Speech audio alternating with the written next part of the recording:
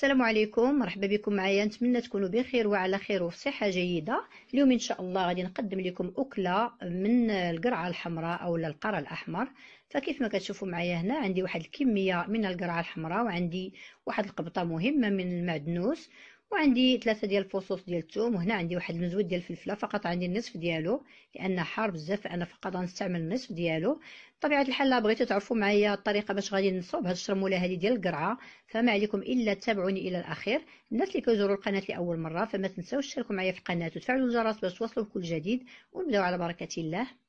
فبالنسبة للقرعة فأنا خديت منها الكمية اللي غادي نستعمل. بطبيعة الحال ما تبقى غادي نستعملو في وصفات أخرى. هنا أنا القرعه قطعت غسلتها بعدا في الأول غسلتها جيدا. ثم كنقطعها كقطع صغيرة باش كنقدر هكا نتحكم فيها ونزول ليها القشر ديالها. هذا القشر اللي كيكون قاصح. فكنزولها القشر وكنزولها هاد الخيوط هادو اللي تيكونوا في الوسط ديالها. غادي نستمر حتى نقي الكمية اللي عندي كاملة ونرجع معكم. هنا بعد ما قطعت الكمية كاملة ونقيتها من القشر فأنا غادي نقطعهم آه، مكعبات صغيرة. فإلا بغيتوها يعني توجد معكم هاد الشرمولة بسرعة فقطعوها قطع صغيرة. ولا عندكم آه، طنجرة الضغط كان أحسن فكطيب واحد الوقت اللي هو وجيز كتقدر توجد معكم في خمسة ديال الدقائق فقط. كتوجد هاد الشرمولة هادي وكتجي أكثر من رائعة. فأنا اليوم غادي نستعمل فقط طنجرة عادية. هنا حصلت على مربعات أو مكعبات على هذا الشكل هذا. بالنسبة للطنجرة فأنا وضعتها فوق النار. بطبيعة الحال النار تكون مهيلة وكنوضع فيها الكمية ديال القرعة اللي قطعتها من قبل.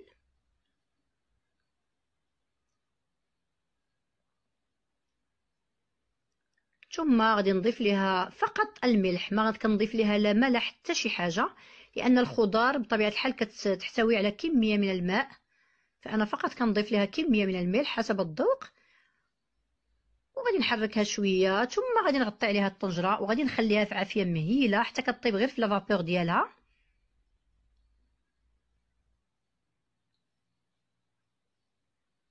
فأنا هنا لقيت قطعة خصها تقطع مازال رقيقة غادي نقطعها ونرجع. غنردها للطنجرة باش كيطيبوا هكا في وقت واحد.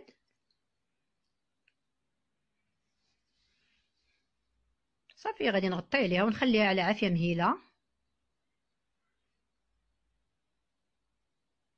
طبيعه الحال إلا عندكم طنجرات تقدروا توضعوا كل شيء في مرة. طنجرة الضغط توضعوا فيها كل شيء في مرة. توابيل بقدونس وكل شيء اولا قزبر معدنوس. فأنا هنا خليتها كطيب على مهلها. كما كتشوفوا أنا كنحركها. كما كتشوفوا هي تلقات الماء ديالها. مازال خصها شوية. غادي نخليها نغطي عليها واحد شوية واحد جوج ديال الدقائق اولا ثلاثة ديال الدقائق ونرجعوا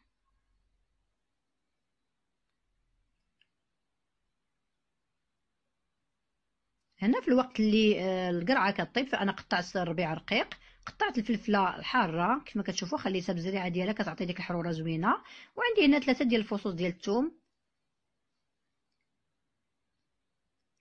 ثم غادي نحتاج واحد النصف ديال الحامضه ما قلتها لكمش في الأول استسمح غادي نحتاج واحد النصف ديال الحامضه هنا كيف ما كتشوفوا معايا فالقرعه صافي راه هي طابت. كما كتشوفوا راه طلقات الماء وطابت مزيان. فنعاود نذكركم أنني ما وضعتش الماء نهائيا مع القرعة فقط القرعة والملح. كنبقى كنضغط عليها هكا حتى كنحصلوا على واحد زعلوك ديال القرعة. ثم غادي نضيف ليها كمية اللي قطعت ديال الربيع تقريبا. غنخلي غير شي شوية باش نزين الطبق في الأخير. وغادي نضيف الفلفلة حتى هي. طبيعه الحال اللي ما كيبغيش الفلفلة ما يديرهاش.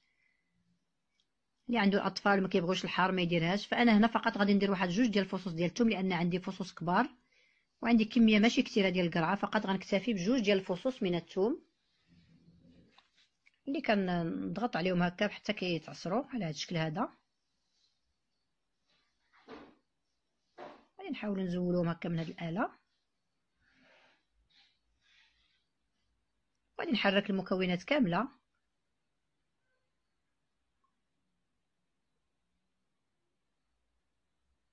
ثم غادي نمر باش غادي نوضع التوابل.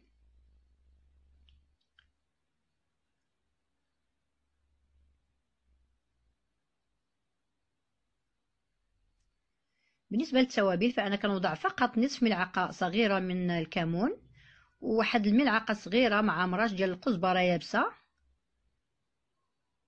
وغادي نضيف كمية من زيت الزيتون. ما يعادل واحد جوج معالق كبار ديال زيت الزيتون. ثم غادي نضيف واحد الرشة من الفلفل الأسود اولا الابزار رشة بسيطة لأن كاينة الفلفلة حارة كتعطي الحرورة القرعه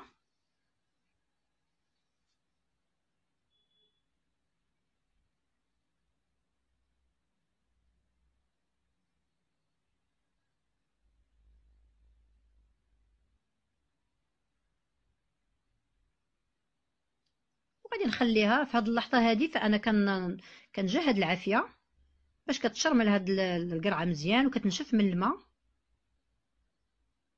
هنا كيف ما قلت لكم فقط رشة من الفلفل الأسود فأنا حتى الأخير عاد درتها. وغادي نخليها واحد جوج دقائق فوق البوطة ونرجع معكم. في المرحلة هذه ما نغطيوش عليها. كنخليو القرعة كتشرب الماء ما نغطيوش عليها. كما كتشوفوا معايا فهي نشفات من الماء ما بقاش فيها الماء نهائيا. صافي هي موجودة تشرملات موجودة.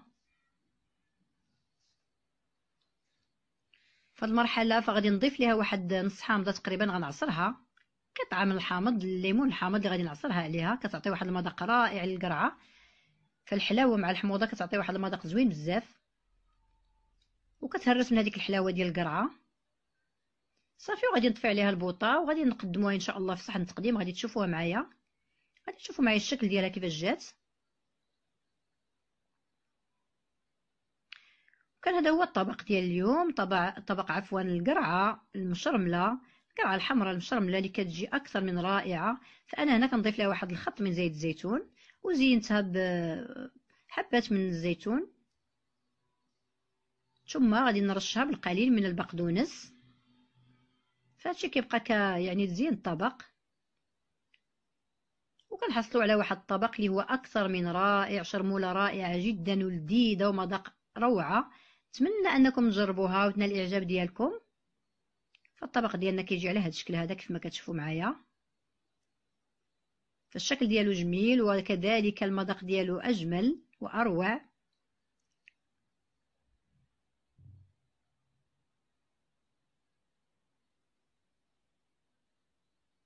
كان هذا هو الطبق ديال اليوم. فإلا عجبكم فما تنسوش تخليو لي لايك أسفل هذا الفيديو. بطبيعة الحال الناس اللي كيزوروا القناة لأول مرة فما تنسوش تشاركوا معايا في القناة وتفعلوا الجرس باش توصلوا بكل جديد. وما بقى لي إلا نودعكم وإلى اللقاء في فيديو قادم إن شاء الله. والسلام عليكم ورحمة الله تعالى وبركاته.